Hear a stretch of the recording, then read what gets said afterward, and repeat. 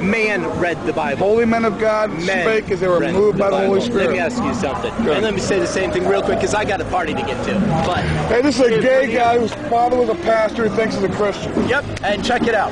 If you guys spend half the amount of time that you spend standing out here with signs, actually helping people, putting clothes on people's backs, standing in a food kitchen, which I do as a You're, sinner. you're the religious one, so you do that. Okay? Oh, so you're not You religious that. then. You're just You out here using religion as a side. Do you think you're going to go to heaven stand by your good works?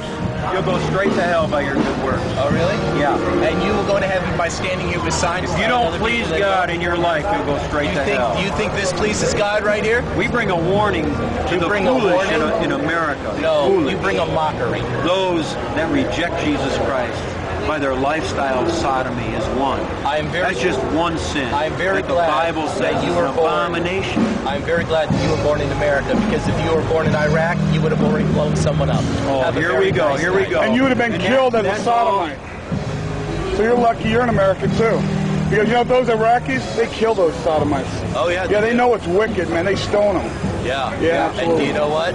You're one step away from them. Have a Really? nice How do you know that? Are you judging me? Bullet. You judging me? That poor, poor sodomite.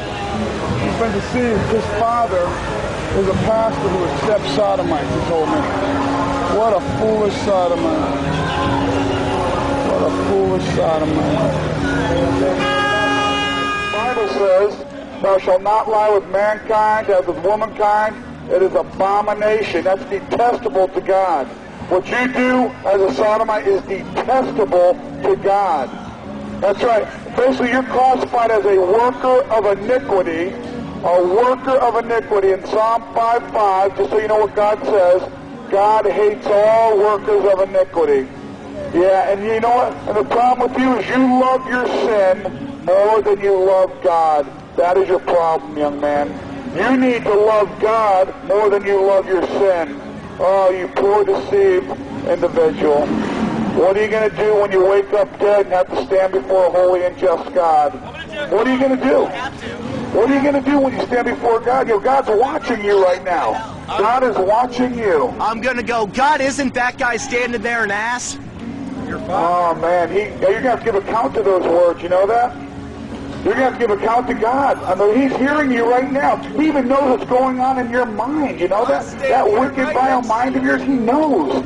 All those wicked things that come out of your mouth, God hears, and everything you do in your flesh, all that filthiness, God sees, and you're gonna have to give account one day, man. You should be trembling. You should be terrified.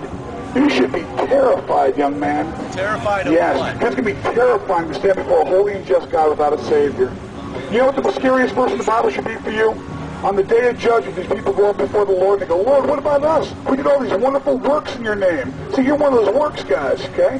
Hey, what about us? We cast out devil spirits in your name. He says, depart from me. I never knew you, ye that work iniquity.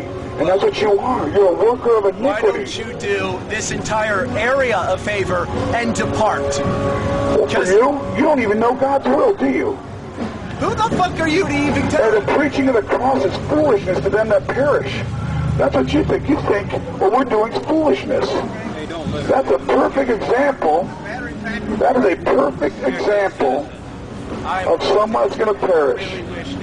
This is not a, this is not a ministry that we picked. It says God chose the foolishness of preaching to save those that would believe. See, it's the preaching of the gospel that's going to save you. It's the Holy Spirit that that plants itself in your heart and grows to a saving faith. God, Oh, wake up. God stoned him, man. God, yeah, he stone. killed him. God, God threw a rock right out of the sky. There you are. Boom. Yeah, he did. Hey, did where? Where is that in the Bible?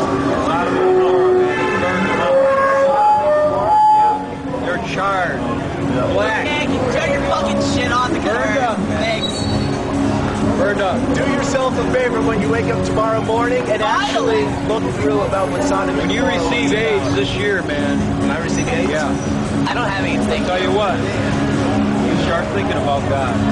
Who's that? Oh, you think about God. God is so merciful that even though you are an abomination, Excuse you. Mine are Romans 1 says, when you turn the truth of God into a lie, God gives you up unto vile affection. women doing that which is unseemly, and men doing that which is unnatural. And then God gives you a reprobate mind.